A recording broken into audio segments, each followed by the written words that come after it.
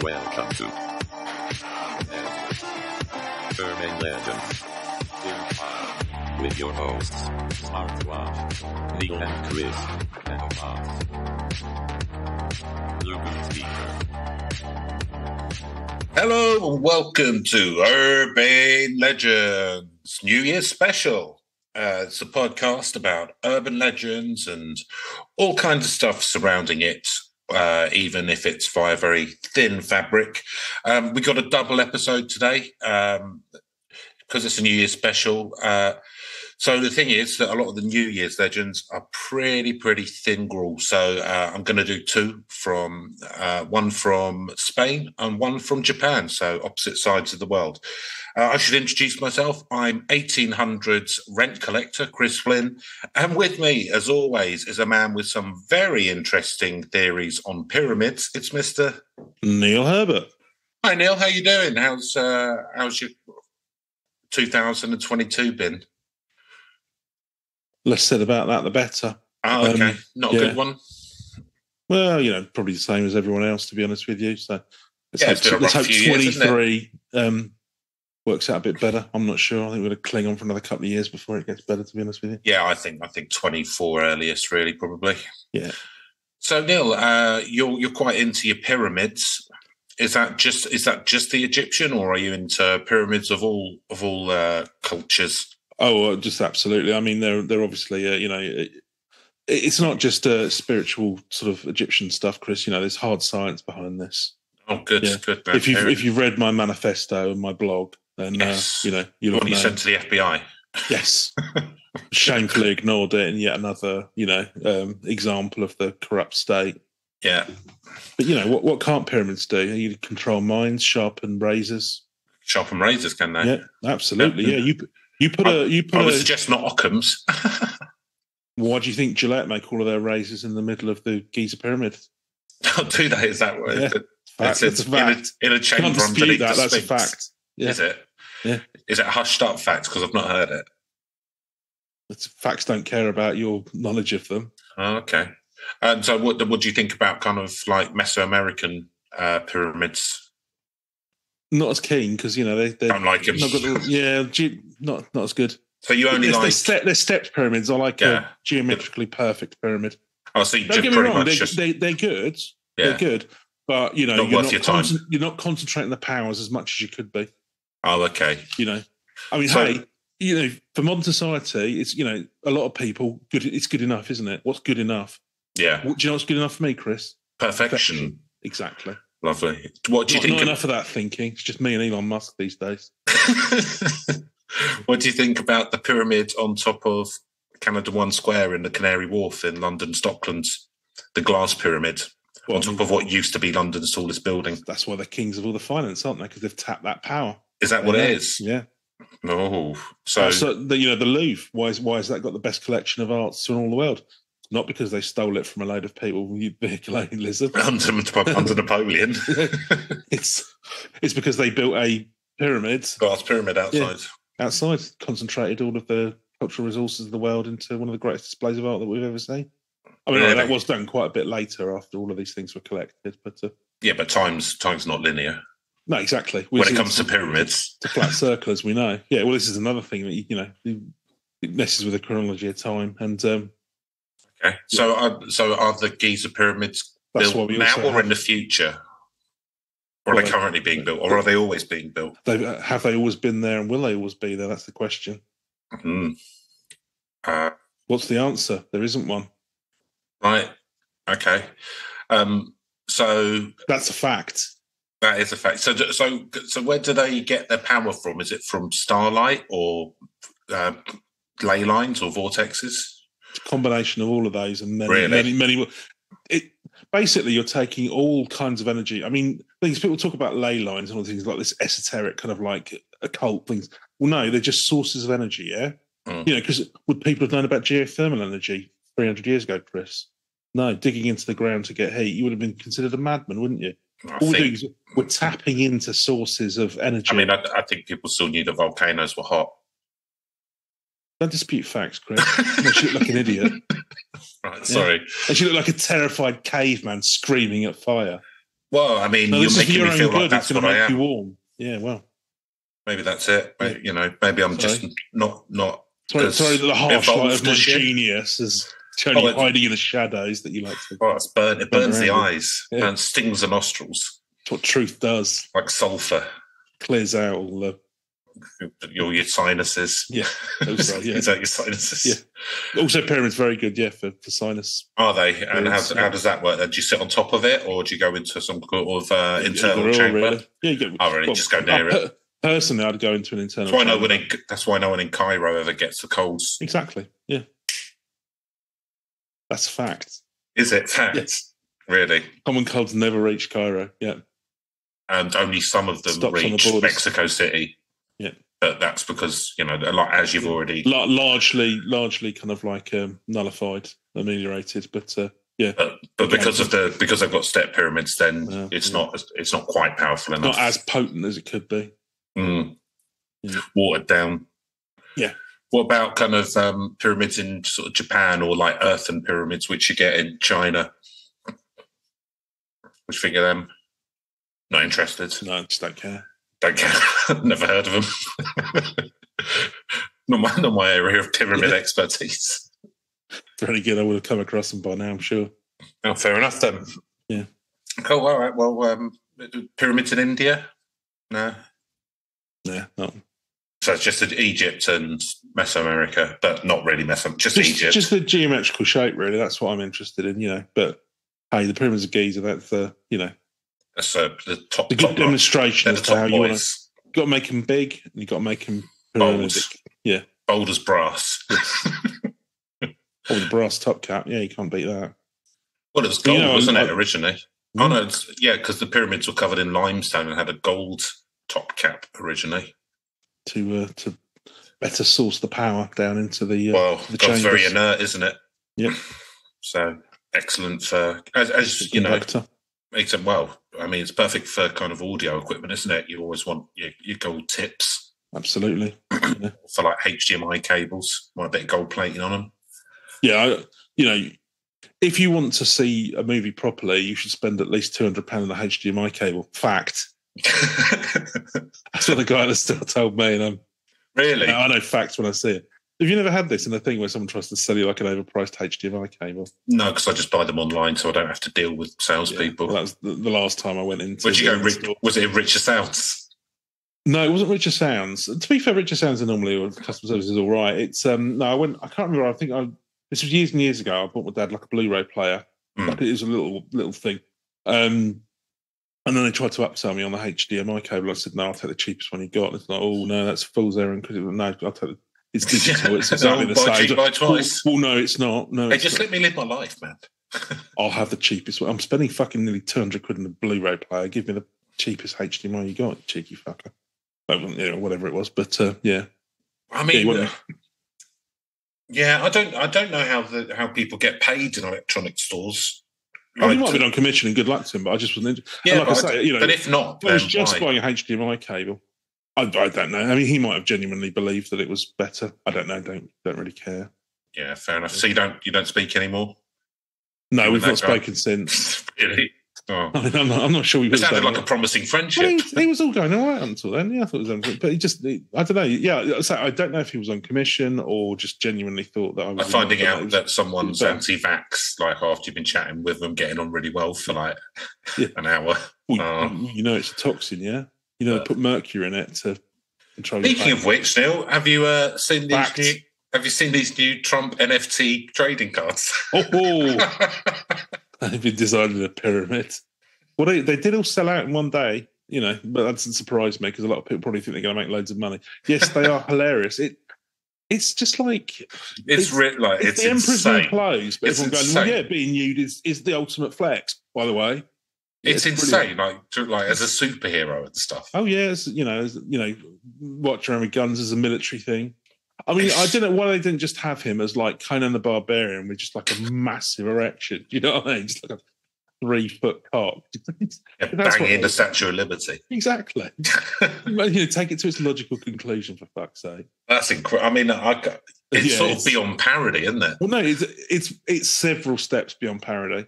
If you'd sort of, you know, if you'd written that into an episode of the, if you'd done like, done like an American special, of the thick of it, do you know what I mean? Like Yeah. 15 years ago and done that, you'd have been like, oh, Armando Iannucci's losing it a bit. This is, Mm. this, this is well over the top. Do you know what I mean? You just, you can't, you, you just can't.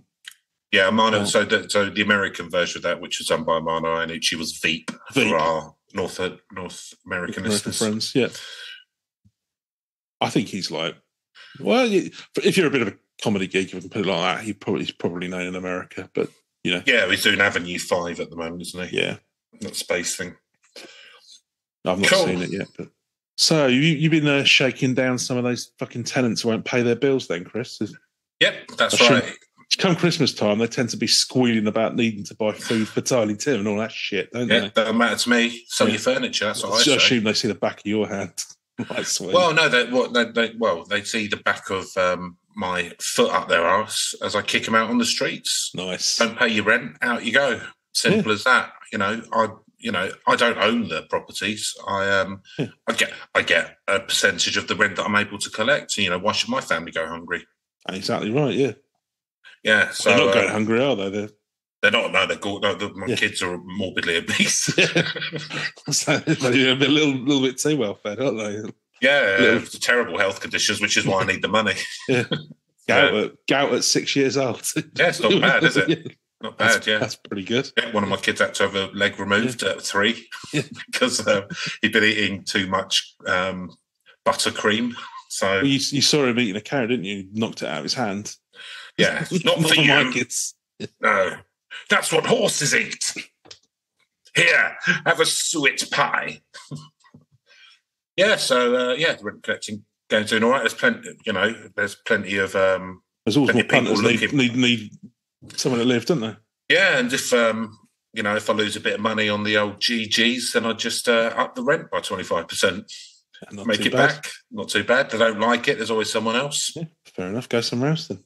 Yeah, fuck off. Pull You yourself know, up by you your like bootstraps. and you don't like living in Lower Manhattan and Five Points. if you don't, if you don't like go. extortionate rent, then buy your own house. What do you think of that? You don't live in a not, city. they, just not, they just not think these things through, do they? Oh yeah, yeah, just go and go and live Go out in the live in a countryside where there Yeah, are no jobs. find, find a cave. Find a cave, forage for mushrooms. You know. Don't don't like it. Found your own country. Yeah, exactly. You know, get on. Um, do what do what my Think it's father did. easy. Get on, get on your bike and cycle to another country and find find a job and somewhere to live. Yeah. Found it. Come up with your own source of economics and Yeah, find your own government. Yeah, kill Yeah. the indigenous create people. your own society. Yeah. steal all the land. so come, easy. Up with a, sys- come up with a come up with a system of land ownership. Claim it for yourself. No problem. No problem at all. That is the problem. They can be bothered to get off their asses. Well, they're too busy moaning, in, they? Too, too moaning busy in Irish and Italian. soy lattes and complaining about how life isn't fair. Yeah, not a lot of them have soy lattes. To be fair, in, um, No, in well, the 1800 tenements, which I which I've run.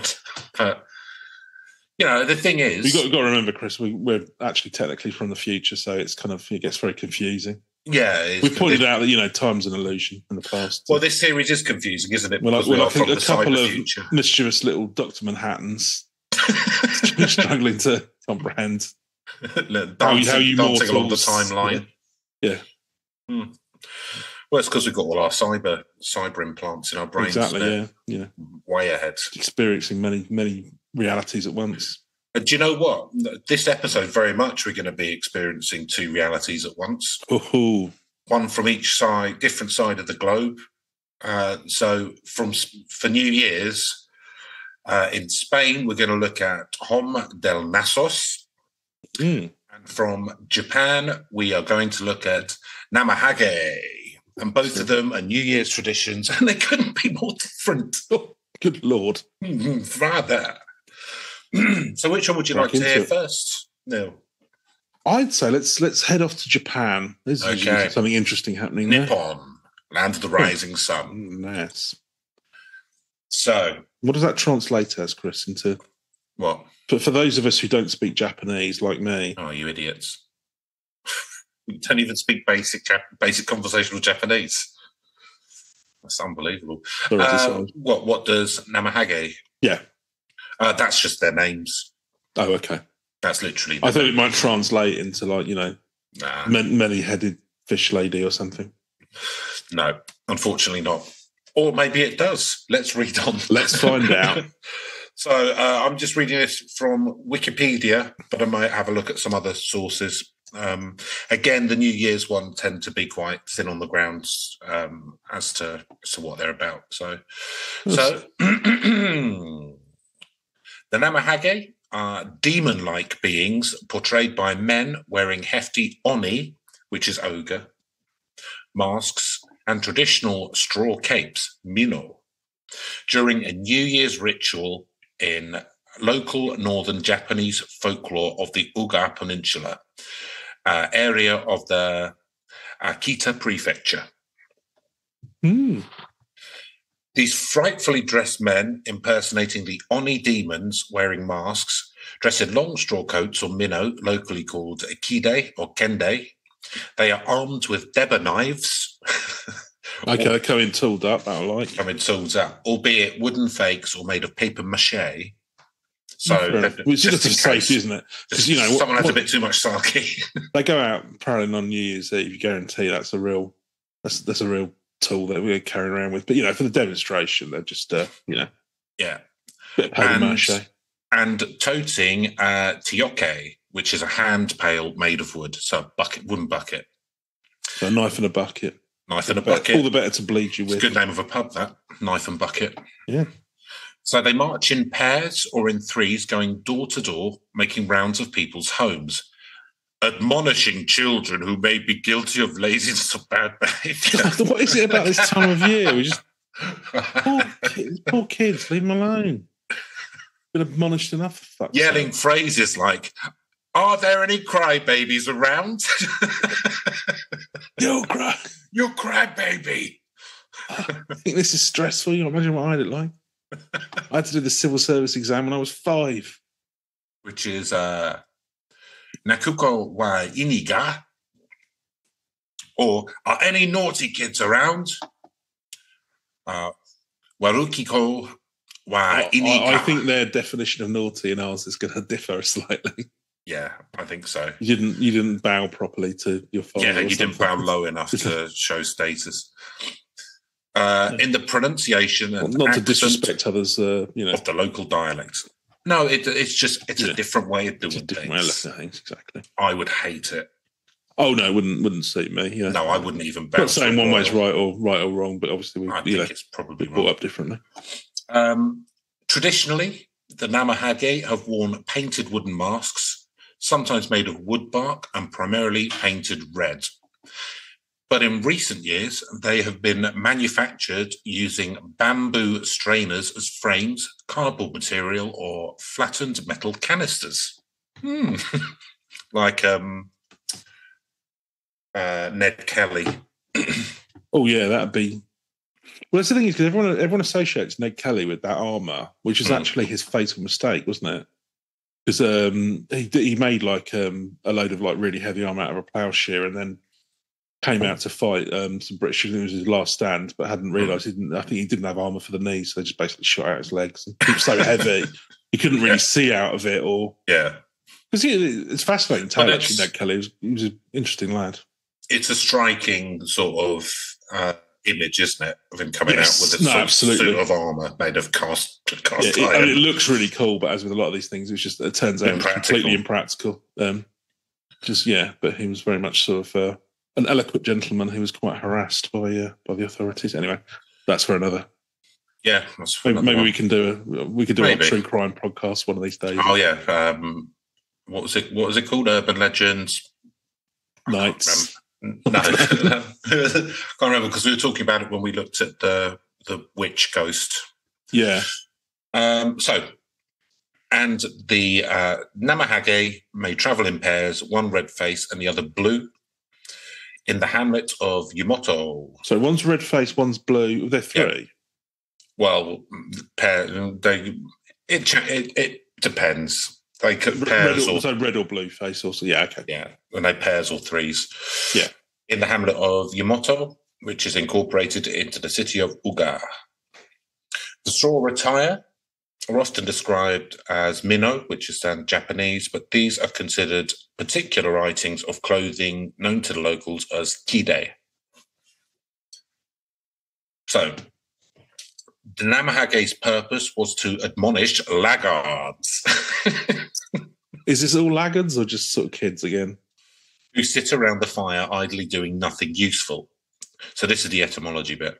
Hey, I, uh, what you doing? Oh, nothing useful. Just, Just enjoying think- the fire. just, just, Just, warming my feet up. Yeah. why not? Done on my work for the day. Why has it all got to be? Well, it sounds like they're not doing their work for the day. Oh, okay, yeah. Sitting around a fire, Dragging, smoking. dragging village productivity down. Oh, nightmare.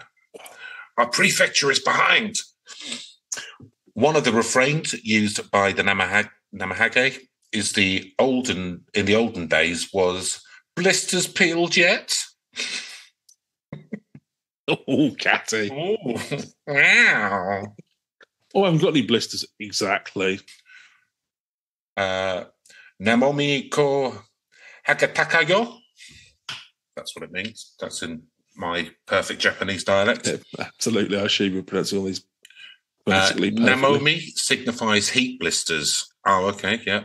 Good or more precisely, hidako, which in Japanese is uh, dariesi kyo, hihan. But hidako is a glossed over. Uh, in I can't, just I'm talking about sure. blisters. Just, just talking about blisters. Yeah, I don't know it's kind of gone off on a bit of a tangent. It's just a lot of random Japanese words and talking about blisters. Anyway, okay. Uh, uh, so, thus, blah blah blah. blah. Thus, Thus, fire rash peeling is generally believed to be the derivation of the name Namahage. yeah, no, absolutely. Perfect. No, no notes. follow follow Yeah, that through like an Adam Curtis documentary. I could not even be bothered to pass that. So, although the Nam- so tradition, although the Namahage are nowadays conceived of as a type of oni or ogre, it was originally a custom where youngsters impersonated the kami who made visitations during the New Year season. Thus, it's a kind of toshigami, and a toshigami is uh, is uh, the son of a Shinto deity who comes around New Year. Okay. okay. This is, This is a very confusingly written article. yes, the practice has shifted over the years. According to the 20th century descriptions, the Namah- would typically receive rice cakes from households they visited, but newlywed couples were supposed to play host to them in full formal attire and offer them sake and food. Well, if, if the ogres come calling, I mean, I suppose this is some kind of like know, Shinto kind of like nature. Well, not I don't know nature. These but are ogres are nature spirits. I don't really know. Um, that's interesting, isn't it? Which it's, it's an interesting one, though, isn't it? Because it feels like you know, if you had you know goblins round and you had to sort of like you know put on Yeah. a three course dinner for them, Yeah, Give them some booze I quite like that. because you've got married. I think they'd be terrible house guests as well. Yeah, considering they're just pissed up blokes in masks. So, um, Still, you know, The Namahage still receive hospitality in likewise manner during New Year's, but in a reversal of roles, the uh, Namahage distribute rice cakes to visitors and tourists during the Namahage Sedo Matsuri, which is a Oh, there festival. it's a bit give and take though. So it's a New Year's ritual, and the Namahage visits now visits nowadays take place on New Year's Eve using the Western calendar. But it You used I've never thought of this before because the Chinese New Year obviously it's February, isn't it? It's, it's lunar or whatever. But um, the Japanese use a Gregorian cal- calendar. they do they use Gregorian, do they? yeah, because I was um I might this New Year. So there's a they do a thing. They have like a New Year's noodles, like and it, and they, you have long noodles. It's like a, yeah. it's like a thing on New Year's Eve to kind of be long life in the new year. And they and Yeah, there's yeah. a there's a place down in Portslade actually, which Oh. Japanese place which does it. So I might go down to this Very nice. New Year's Eve. Um, yeah, that's the only time they're opening over sort of the Christmas period is for the Yeah. New Year's thing. So I thought, oh, might go down there, seeing as I'm not boozing. Yeah, because they, um, yeah, because they, I can't remember what it's called, but there was like a restaurate. Well, there was a period where they basically looked to learn from the West, didn't they? So I wonder whether they converted to Gregorian calendar at that period. It was like um, early 19th century or, so, or mid 19th Yeah, century. that or when America took it over called. after World War Two. Who knows? Yeah, I don't know. Can't So- remember the uh, the name of that period. Edo, I think it might have been the Edo period. But anyway, whatever. Um, but it used to be practiced on the so-called Little New Year, which is the first full moon night of the year. This is on the fifteenth day of the first lunar uh, calendrical year, which is not the same thing as January fifteenth. It usually falls around mid-February, exactly two weeks after the Chinese New Year. Yeah. The aforementioned Namahage Sedo Festival, or Sedo, uh, which was not established until 1964, is held annually on the second weekend of February, roughly coinciding with the Little New Year at the uh, Shinzan Shrine. So, uh, some of the other, some of the Namahage's other spoken lines were of "knife wedded yet," and uh, "boiled adzuki beans done yet." They're really passive aggressive. Yeah, they're not really. Uh, So the knife apparently signifies the instrument used to peel the blisters. It's very blister heavy. Tradition. I mean, blisters are clearly more of an issue. Um, Well, it's because they're sitting by the, realised. they were sitting sitting by the fire so- so much they got blistered up. Yeah. So that's proving they're lazy. So it's like one of these things where they've had to come up with like a thousand different insults for somebody with blisters. But you know, Yeah. like, as with all of these things, after the first five, you just kind of run out of. Uh, Yeah, stick to three. Yeah. Uh, so the legend of the Namahage varies uh, according to an area. In Akita, legend has developed regarding the origins of the Namahage that Emperor Wu of Han from China came to Japan bringing five demonic Oni to the Oga area, and the Oni established quarters in the two local high peaks, Honzan and Shinzan. These Oni stole crops and young women from Oga's villages. The citizens of Oga uh, wagered the demons that if they could build a flight of stone steps, 1,000 steps in all, from the village to the five shrine halls, uh, all in one night, then the villagers will supply them with a young woman every year. But if they failed the tasks, they would have to leave.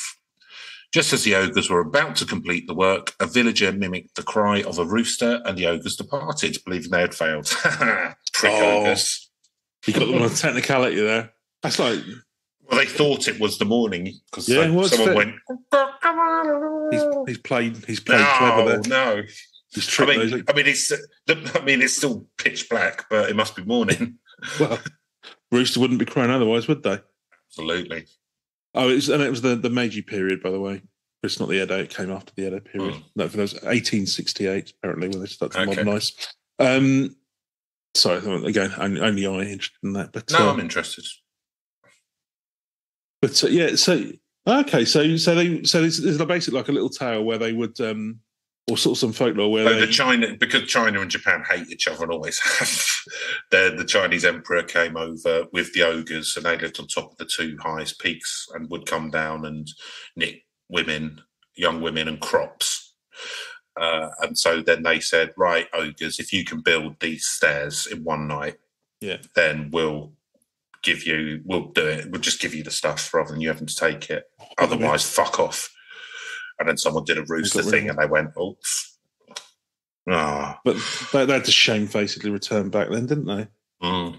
Oh, we're two steps away, but then two steps I could away. have sworn we had another couple of hours, but I mean, the You know? sun's literally just set. well, uh, I mean, it took you probably an hour and a half to walk back, and it's only like seven now. So you don't suppose? No, we wouldn't do that. no, no one can impersonate Yeah. a rooster. So, interpretations.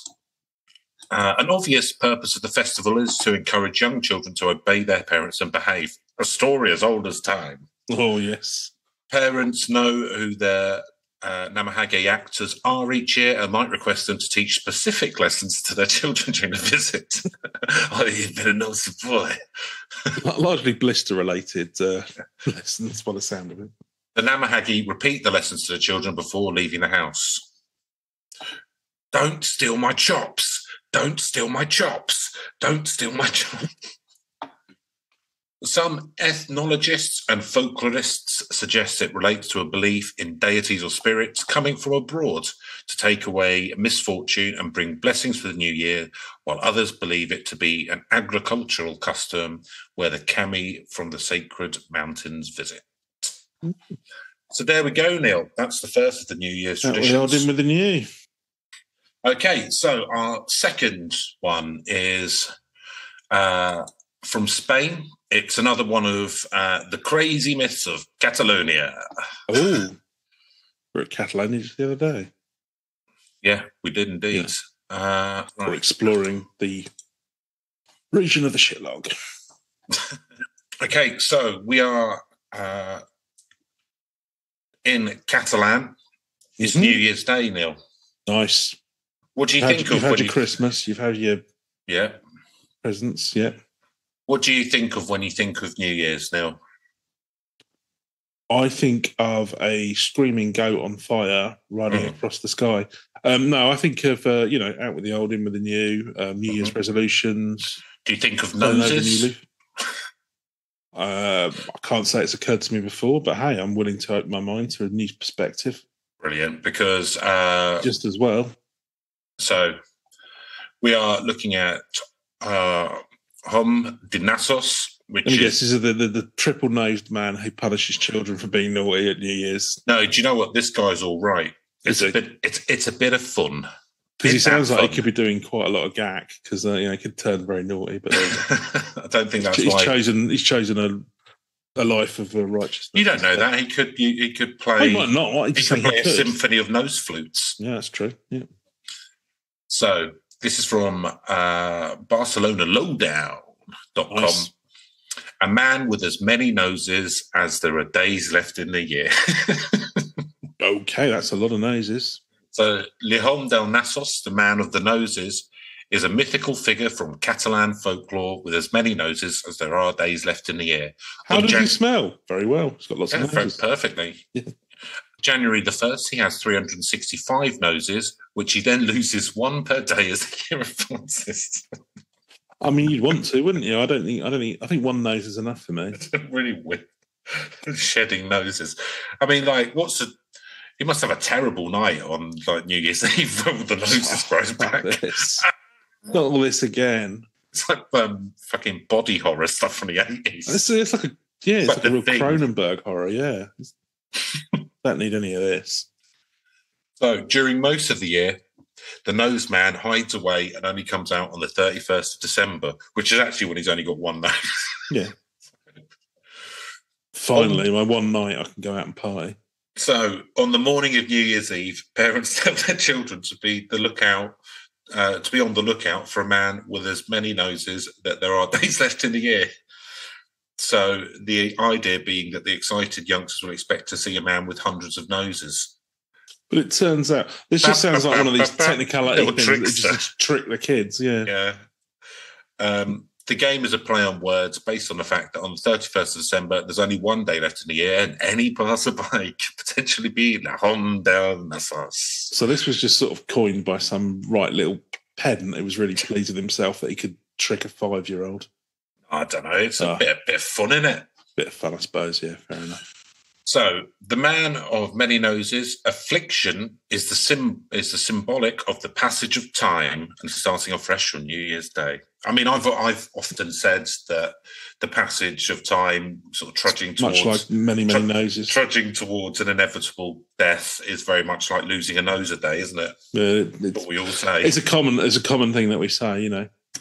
Yeah, I thought it was just I thought it was just local to Sussex where we live, but Yeah, no. Clearly, it's out it's down uh, to the olfactory system as the the Yeah, rest of us. The tradition probably evolved from the Roman pagan god Janus, the god of transitions, uh, beginnings and endings, gates and doors. The only, the only actual, the only sort of unique Roman god, I believe, was Janus. Or there might have been a couple of them, but uh, Yeah, most of them were just lifted from just Greek lived for gods, the? Greeks um, and translate. But he only had two noses because he was two faced. Janus, so it's the, the god of like doorways or um, yeah. Yeah, Also gave the name, going the name the Janus effect. You know when you walk into a room and you forget what you came in for. all right. apparently this is a psychological condition. Your brain kind of resets when you go into a new room because it's thinking about Was new he- contexts. Was he also the patron of theatres because of the happy and sad face mask thing?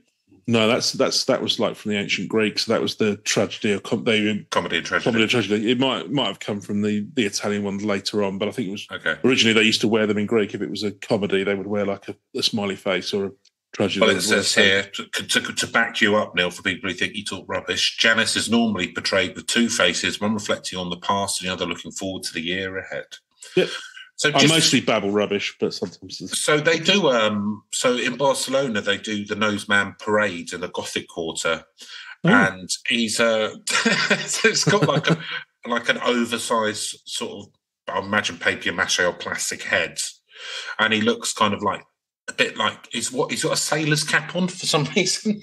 so. This is yet another reason to spend Christmas in Barcelona. Yeah, hundred percent. I want to I want to have presents from the He's got big white, and- big. So he's got a sailor's hat on, big white hair and mutton chops down the side, Nice. and a big white, bushy kind of curling up moustache. And he looks like an absolute psychopath. He's got really big staring eyes and an open mouth, beautiful. probably so people can see out.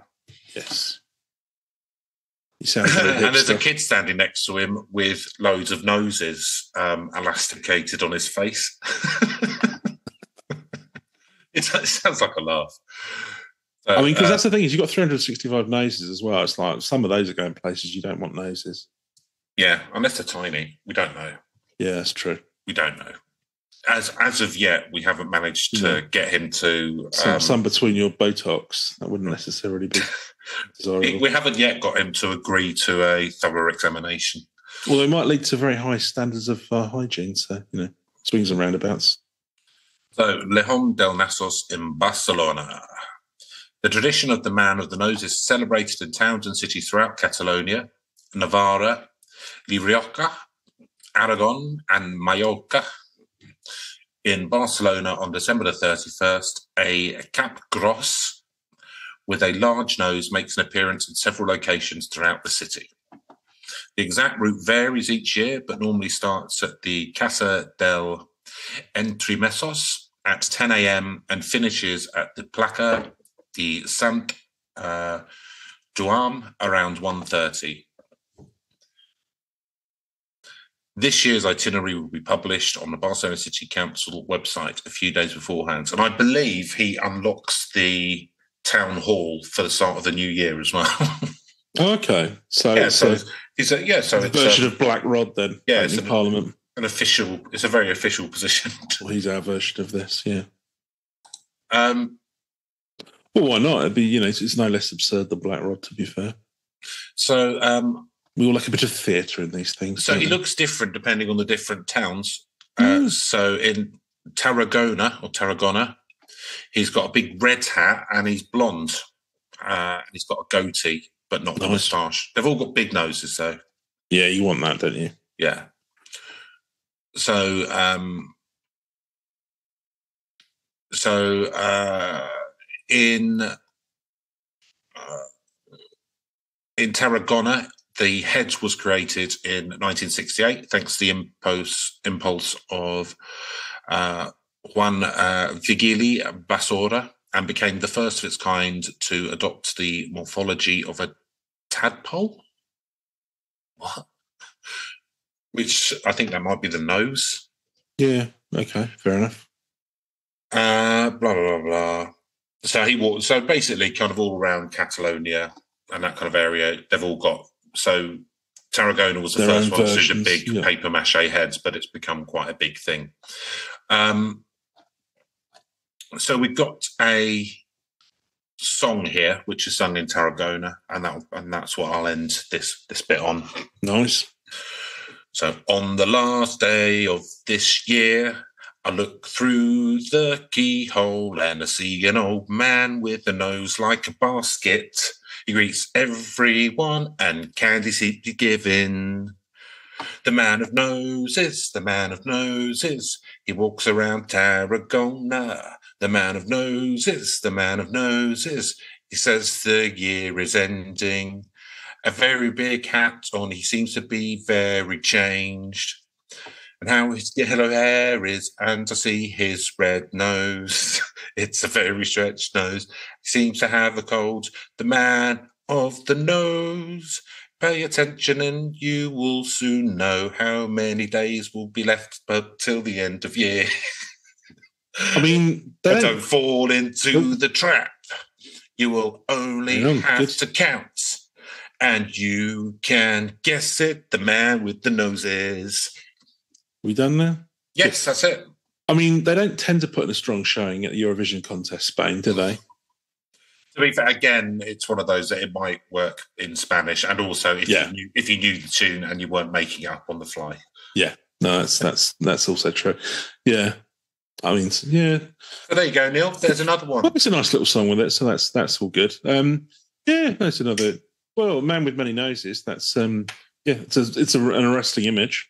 I might be more tempted to go to the one in Tarragona because I imagine the Bar- well, Barcelona's very expensive, and um, maybe it'd be a bit more intimate Yeah, in Tarragona.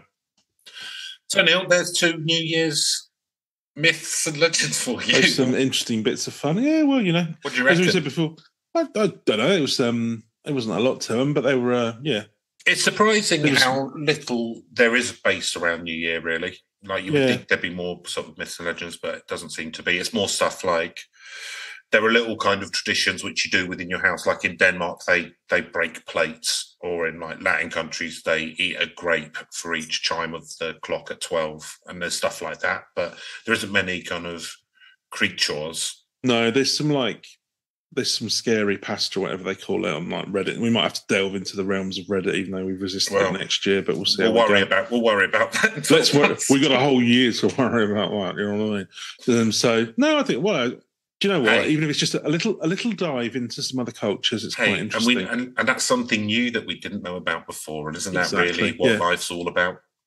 we started the new year with the gift of knowledge and, and Mm. different perspectives, mm? isn't it? Mm? Mm, wonderful. And I'll be honest with you, I'm quite glad that we're, we're done now. We can go back to talking about lizards or pigmen. Yeah, I want to Uh, find another pigman type creature, Yeah, I've got. Uh, I've got. half Um, man, half whatever animal. yeah, I'm quite interested in in a, in a few of the ones which uh, which got lined up to have a look at, uh, such as. Let me have a little look. See. Uh, uh, the Groot Slang. Looking forward to that. Uh, El Culbron. That's good. Uh, the Smile Dog. That's Ooh. creepy pasta. Uh, the Cemetery Mule. hey, man. There's plenty out there. There's plenty out there. Uh, where's uh, and well, there's a uh, Phi Kong Koi, who is hilarious ghost from Thailand. Oh, So, I'll be looking, So looking keep your ears, involved with that cheeky little fella sometime soon. keep your ears going. Oh, and, and let's not forget the evil enchanted river dolphin, Boto Encantado. I've always thought those dolphins were up to no good. Yeah, exactly. Yeah. That's always the thing, isn't it, with kind of people who go, oh, it'd be great if we meet aliens and that, because we'll, you know, we'll obviously be able to work out how to communicate with them. It's like, we can't even talk to monkeys and They'll, they'll take one look at us and wipe us the fuck out, and rightly so. And with that, Neil, a very happy start to the new year. So, yes, have a great 20. Well, here's hoping you will have a lovely 2023. Uh, yeah, we'll get through it together. Yes, one step at a time. things can only get better. We, As, as we've been- Ream prophesied. We've been saying over, we've been saying every year for the last few years. Cool. All right, guys. Um, happy New Year, and um, yeah, we're back normal time Thursday, and uh, the Christmas twelve days is still going on. If if you're bored, that goes Yes. on until the fifth. Cool. All right, guys. Uh, see you soon. Take care. Bye bye. and goodbye. Antennae. Server. USB. Wi-Fi. Pin. Mini